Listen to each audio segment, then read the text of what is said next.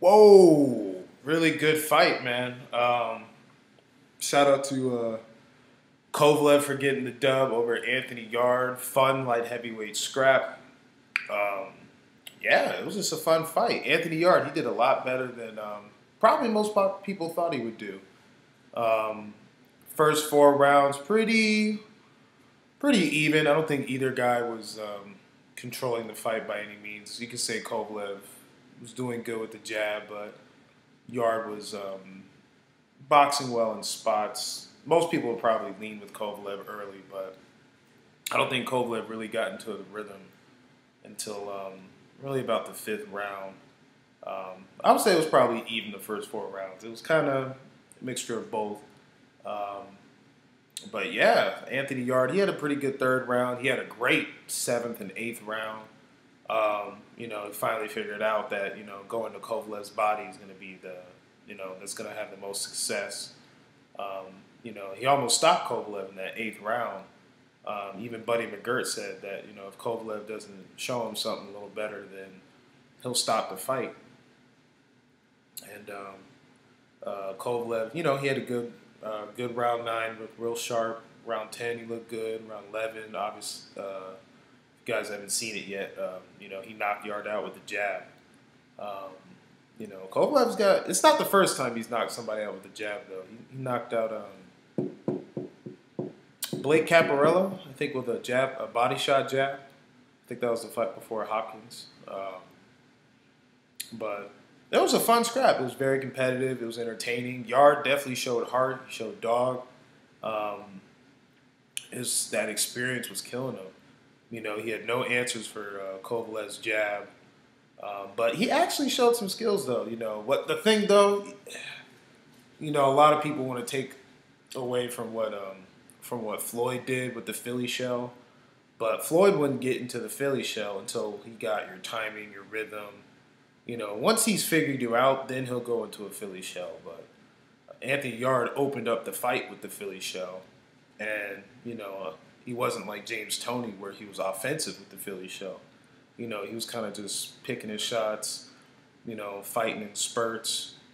Um, you know, eh, you can't. It's he did better than I thought he would do boxing on the outside, but he had his best success when he was walking Kovalev down and hitting him with body shots. You know, Kovalev.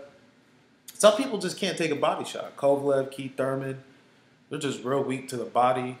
Um, you know, it's it's apparent why Canelo is hell bent um, for that fight because um, you know Canelo's an excellent, you know, one of the best body punchers in boxing. So, you know, if Canelo can get to Kovalev's body, then you know he can probably stop Kovalev. But you're gonna have to walk through fire. You know, Anthony Yarde took a lot of punishment just to get to that body. Um, like I said before the fight, you know, he's gonna have to use head movement, jab with the jabber. Um, you know, he tried throwing his left hook early on, but his best punches were body shots. You know, um, you know, uh, Yarde kind of fought in spurts. Actually, that's kind of what Canelo does. Canelo's a much more seasoned fighter. Um, he's also a lot smaller too, you know, um, and he's well known for fighting in spurts. And Canelo himself don't have the greatest gas tank past round six, so Kovalev versus Canelo, that's going to be an interesting fight. I'm not sure who would be the favorite. Maybe after this performance, they might lean with Canelo as a favorite. It wouldn't shock me. Um, tough to say, you know. But then again, you're gonna have to, you know, can you? We don't know what Canelo's chin's like above 160. You know, I'm not counting Rocky Fielding. You know, Rocky Fielding was was weight drained. Um, Chavez Jr. 164.5, he was weight drained. So we don't really know what Canelo's chin is at 168, or let alone 175. So style wise and skill set wise, I could see why Canelo would be the favorite. But kind of like Anthony Yarde, Canelo doesn't have any experience at uh, 175 and even 168. You know, brief experience up there as well. Um, but Anthony Yarde showed some really good skills. You know, had he fought some, you know, gatekeepers, contenders, and challengers before he fought Kovalev, you know, maybe like a Chilemba, um, Blake Caparello, Cedric Agnew, and then he fought Kovalev, had some experience. Um, he he could have he could have shocked the world, man. Because that eighth round, seventh round, he was getting it going. In the eighth round, he looked like he was about to stop Kovalev.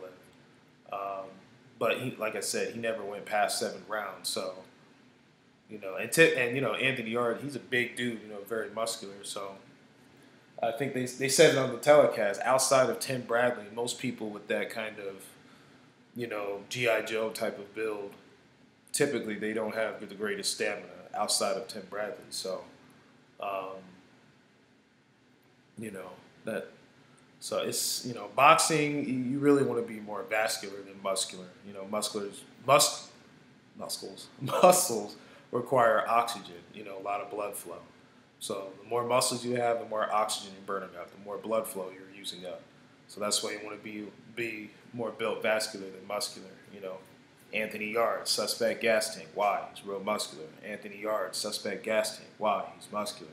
Even Canelo Alvarez, suspect gas tank. Why? He's muscular. Kell Brook, he's known to have not the greatest gas tank. Why? He's muscular. What is, you know, common theme? Muscles.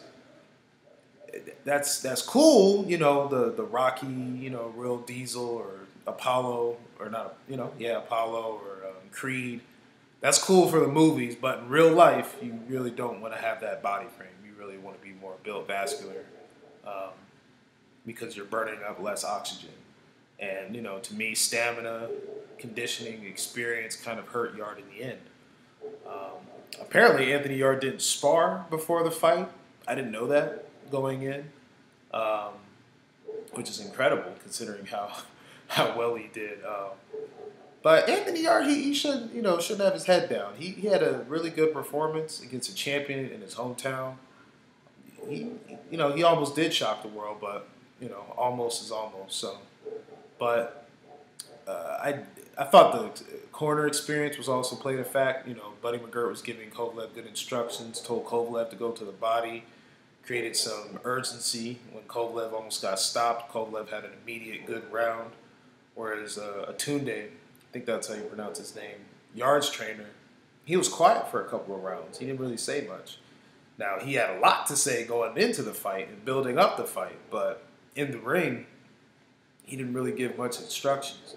So that corner experience, you know, also hurt him as well. Not just you know in the ring experience, but Yarde's not a bad fighter. You know, definitely got a good ceiling. Um, he can bounce back. You know, take some time off. Uh, of the two UK Anthony's, I would actually say um, Yarde actually might need more of a. Well, I mean, Atunde just didn't say much. I mean, I I don't know. That that kind of rubbed me the wrong way. He had a lot to say going into the fight, but when the fight was actually going on and his you know his guy needed him, he didn't really say too much. So, you know, I'm not a huge fan of that. So we'll see what happens with Anthony Yarde's future. But he's got a bright future. He can definitely bounce back. He's young. He's only 28. I think he only had like 12 amateur fights, and he held his own with an experienced champion in his backyard. So. And definitely had flashes of skill, flashes of good moments. He definitely showed heart. He showed dog. Um, but you you know, there's reasons why you do spar. There's reasons why you want to fight your gatekeepers, fight your challengers, fight your contenders. You know, so it can help you build up for the moment. But he handled the pressure well in terms of you know being in a big fight overseas. Um, you know, he's not like Anthony Joshua where he got spooked. He was real confident. He actually was dancing in his way into the ring. So Anthony Yarde's got a lot to you know a lot to gain from the fight. Um, Kovalev actually gave Anthony Yarde props during uh, Anthony Yarde's interview afterwards. So, you know, he, he, he definitely got the boxing world's respect. Um, so he, he can definitely he's definitely got a future. Kovalev, I don't see him beating the young champions in the division, uh, Dmitry Bivol and uh, and Beterbiev, who apparently are fighting, which is great news. I'll make a video about that.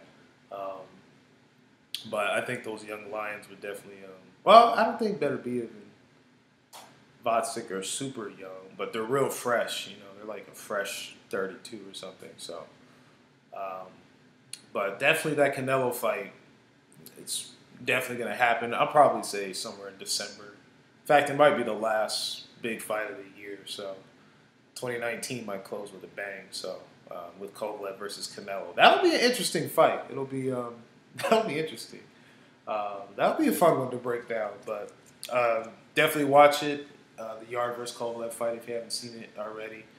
Um, let me know what you guys think about both fighters, uh, the performance of both fighters, the future of both fighters. But it was a good light heavyweight scrap. Drop comments, like, subscribe, stay tuned. You guys take it easy.